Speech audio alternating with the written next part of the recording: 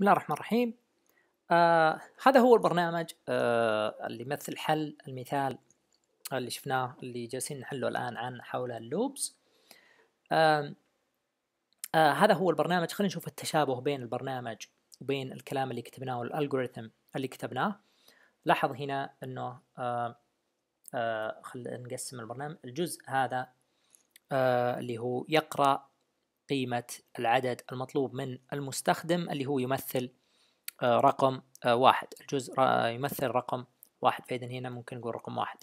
الآن رقم واحد فاصلة واحد اللي هو عرفنا متغير اسمه. طبعا سميناه count زي ما قلت لك دائما حاول تستخدم أسماء أف يعني ذا آه، أسماء مفهومة وواضحه سميناه count نسبة ال counter أو العداد وضعنا فيه القيمة صفر. ف 1.1 نستطيع نقول هذه 1.1 هذه هي الخطوة.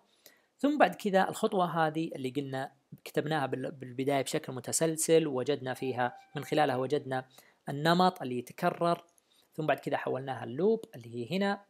مضبوط اللي هي الجزء هذا من البرنامج اللي هو جزء ال while loop. فلاحظ شرط ال while while ال count أصغر من أو يساوي num. فهذا هو طالما السي أصغر من أو يساوي num. ثم هنا اطبع القوس اليسار هذا طبعت القوس اليسار اطبع قيمة ال count اللي هو طبعت هذا ثم زد قيمة ال آه آه okay ممكن تبدل الثنتين هذولي زين فممكن تطبع القوس اليمين بعد كذا تزيد أو العكس ما يفرق. مضبوط لكن كذا أفضل يعني إن نطبع الأقواس والعدد ثم نزيد قيمة العدد. إذا بالضبط هذا هو تحولنا برنامجنا من آه أو ال algorithm اللي عندنا حولناه إلى برنامج. لاحظ أهمية كتابة ال algorithm بالشكل هذا خصوصا لما تجيك مواضيع يعني شوي تلخبط زي ال loop. أه تكون ممتاز جدا تكتب لأنك تعرف من خلالها تكتشف أول شيء هل نحتاج loop في السؤال أو في, البرنامج في المشكلة أنت تحاول تحلها. أه والشيء الثاني إذا كنت تحتاج loop كيف ال loop هذه راح تشتغل؟ وش النمط اللي راح يتكرر؟ وش التعليمات اللي راح تتكرر؟ خلينا نشوف نحاول ننفذ اللوب هذه بشكل سريع. مع بعض ونشوف آه، نفهم كيف طريقة تنفيذها. آه، طبعا أول شيء الكمبيوتر راح يبدأ يطبع ويقرأ نم. فلو جينا هذه هذه هي هذه الذاكرة آه، عندنا. فهذا نم. راح نقرأ قيمته ولنفرض أن القيمة خمسة. كانت القيمة خمسة فإذا قرأنا قيمة نم خمسة. مضبوط؟ بعد كذا عرفنا العداد هذا عداد ال count مضبوط وضعنا فيه القيمة صفر زي ما انت شايف هنا في الخطوة واحد. بعد كذا بدينا بعملية آه، ال loop. فنبدأ نشيك هل العداد هل العداد أصغر من أو يساوي ال num؟ آه، طبعا الصفر أصغر من أو يساوي الخمسة. فنجي نطبع هذا عندنا ال output هنا. حق البرنامج فنجي نطبع قوس يسار. ثم بعد كذا نطبع قيمة العداد اللي هي صفر بالسطر هذا. ثم نطبع بسطر هذا القوس اليمين. ثم بعد كذا نروح نزيد العداد بواحد فيصبح العداد رقم واحد بدل منه رقم صفر. نرجع مرة ثانية للوايل. هل الواحد أصغر منه يساوي الخمسة؟ نعم الواحد أصغر منه يساوي الخمسة. ندخل مرة ثانية نطبع قوس ثم آه نتنفذ هذا ثم نطبع العداد هنا اللي هو واحد ثم نطبع القوس اليمين. هكذا ثم نزيد قيمة العداد بواحد زي ما أنت شايف فيكون العداد عندنا اثنين.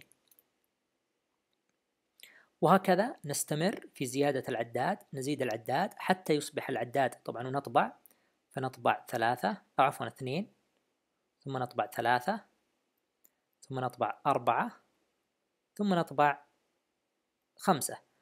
في حالة طبعنا الرقم خمسة معناته معناه أن العداد هو قيمته خمسة فوصلنا لهنا وطبعنا العداد مع القوسين المعقوفين البراكتس بعد كذا الآن نزيد قيمة العداد بواحد فيصير قيمة العداد بستة.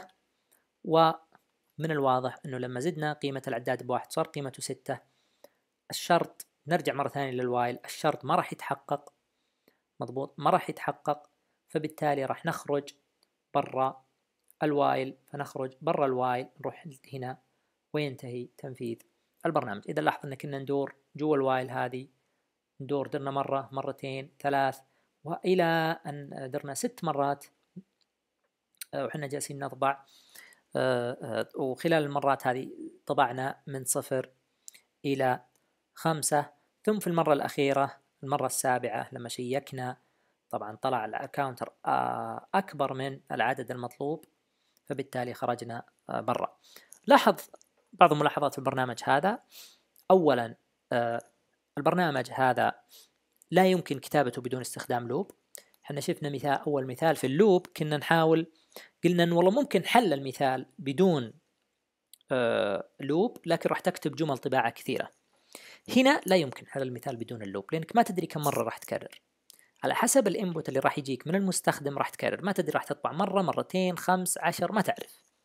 زين فهذا مثال على عكس أول مثال أخذناه في ال loops هذا المثال لا يمكن حله بدون ال loop. مضبوط؟ آه، بينما ذاك المثال كان ممكن حله بدون ال loop بطريقة غبية جدا يعني بتكرار طباعة كبير من المرات. آه، الشيء الثاني إنه لاحظ إنه هنا شرط التكرار. آه، لما وضعنا ال counter الشرط حق توقف التكرار هنا لي ليس بالضرورة أن يكون رقم ليس بالضرورة نقول أنه العداد أصغر من خمسة أو عشرة لا ممكن يكون العداد أصغر من قيمة variable ثاني. مضبوط؟ فنقارن بين العداد وبين variable ثاني وال variable هذا ممكن يكون جاي من المستخدم ممكن يكون جاي من أي مكان ثاني في البرنامج. واضح؟ وهذا شيء دائما يتكرر آه، في البرامج عند استخدام آه، آه، التكرار أو ال loops. زين هذول حاجتين مهمات يختلفين يعني اختلافين مهمين عن البرامج اللي شفناها سابقا في ال loop. زين أتمنى أن تكون إن شاء الله فهمت البرنامج. أرجو أنك تنفذه.